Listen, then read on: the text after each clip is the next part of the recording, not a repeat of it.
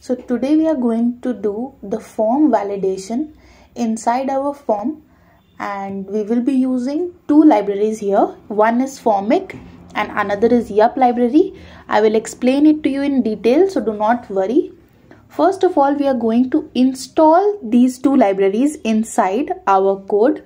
So we will use the command npm install or i Formik. So this is how we are going to install. And this is going to take a little bit of time so do not worry about that. And similarly we are going to install the yup library also. Npm i yup. So let us go ahead and install that also. Npm i yup. Now after installing this we are going to use both of these libraries for the form validation so for using uh, the Formik, what we are going to do is we are going to clear all our code inside app.js and then I am going to explain the code step by step. You can look at the official documentation of the Formik as you can see. Here you can see I have form level validation. So we are going to use this uh, for our video in today First, we are going to import React from React and we are going to import Formik, form and field from Formik. Then we are going to import Yup library and later on we are going to uh, add this in our app.js. So we are totally going to modify our app.js. I will explain it to you.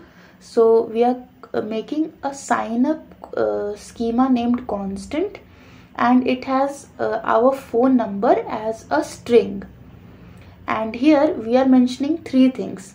First thing that it is a required field. That is without that uh, you will not be able to log in into our website.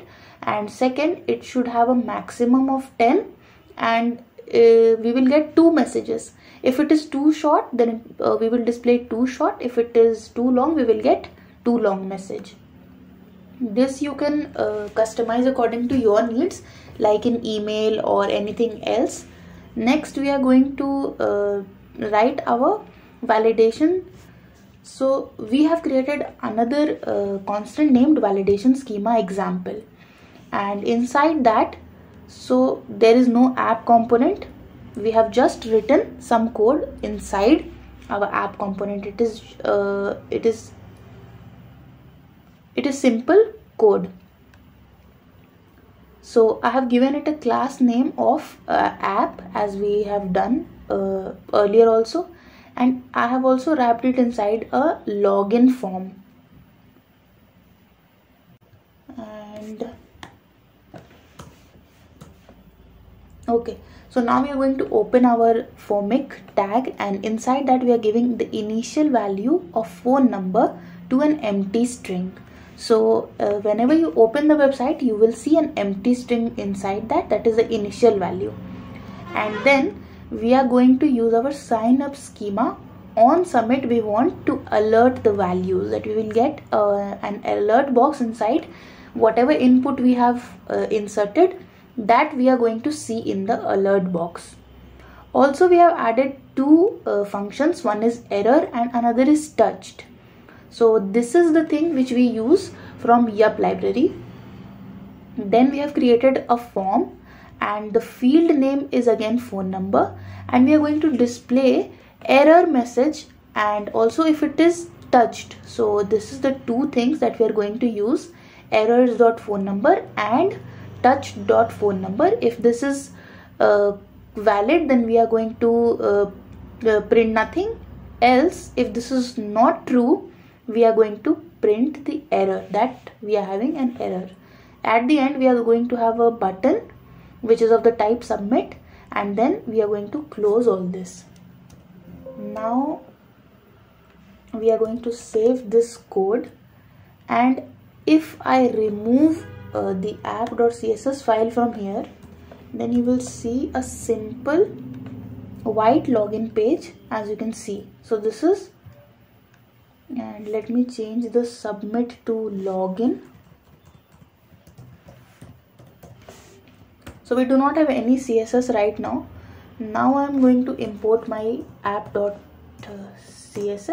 and add some uh, styling.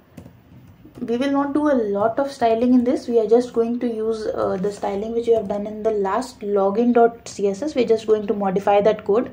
So I've copied all my code now what I'm going to do is so we need a margin of 0 padding of 0 and let me just go over the styling first of all so that we can get the same output as we have got uh, yesterday using our normal HTML and CSS so you can see I have two div tags. One is app and another is login form. We will be targeting both uh, because uh, we will be not getting the exact output if we use only one. So for the app I have added uh, the background image URL and everything is same that we have used yesterday in the login form thing.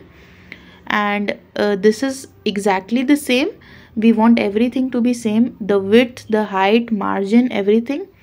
For the login form that is we are going to target the Formik.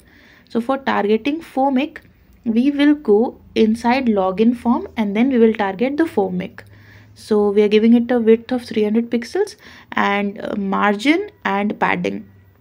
Next we are going to target our h1 and we do not have we do have an input obviously. So we are going to target that also. So that is the input. Next we are going to target our button. So for targeting the button we see that uh, the button is present inside uh, the div tag with class name login form. And then inside the form we have that button. So we will be targeting it like this. If we do not uh, target the form that is let me remove this form from here. So you will see there is no styling applied in the button. We have not used any other input field in our project because we will be using only phone number for uh, the verification and you will just get an OTP and you are going to get the uh, login from there. So we do not require password or anything else. So we will keep it simple. And you can see that we are getting required there as soon as we hit on save. So now if i enter uh, 10 digits then I will get the option to login we will get no uh, messages in uh, the bottom and you can see I get the alert box with whatever input I have uh, inserted. But if I uh, remove a digit then you will see I'm getting the message too short. And if I increase the number that is the digits are more than 10 I'm getting too long. And if I remove all this then you see I'm getting the message required so this is what we wanted and this is how we use Formik and form validation. Formik is designed to manage forms with complex validation with ease. It supports synchronous and asynchronous form level and field level validation. So uh, this is baked in code and you just have to uh, verify it a little bit and then you can use Formik in your project. To maintain your code and keep a check on your code, you can use a version control system that is Git and GitHub. Wait, let me just add in uh, an H5 that we've forgotten. That is the phone number. Okay, so that is fine. You can style it. We will be looking forward to using a version control system in later in our videos. So stay tuned. Thank you.